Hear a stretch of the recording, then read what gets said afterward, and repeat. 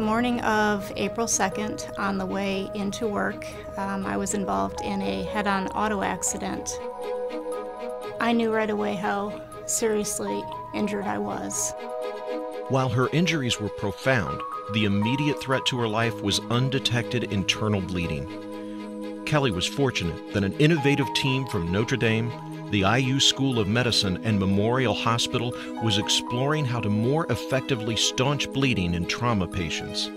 I realized that we could use those resources that we have at IU School of Medicine and at Notre Dame, and to take those two entities and tie those in with Memorial.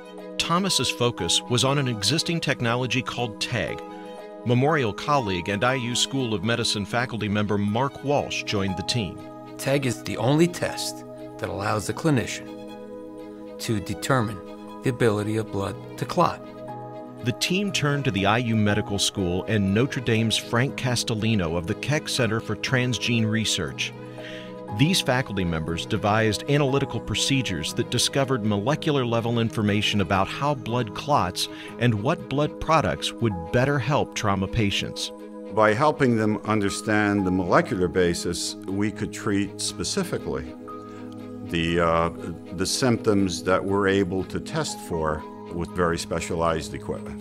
Around the world, trauma physicians are now adapting the TEG team's findings. Here at home, no one appreciates their work more than Kelly Porter.